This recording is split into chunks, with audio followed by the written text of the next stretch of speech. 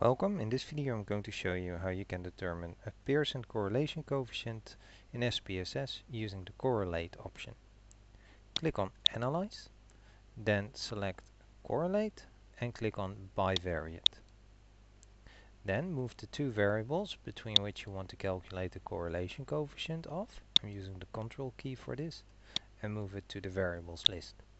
You can select as many scale variables here as you like. Make sure under correlation coefficients it mentions Pearson and then click on OK. In the output we can see that the Pearson correlation coefficient between beginning salary and current salary is 0.88.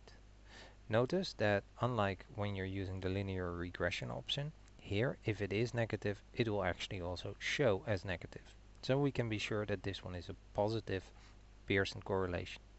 The significance is listed underneath.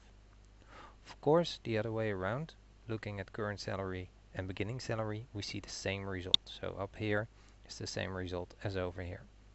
The 0.000 indicates that the chances of having a Pearson correlation of 0.88 in such a sample, or even bigger if in the population it would have been zero, is very small, so most likely in the population the Pearson correlation is also significantly different from zero.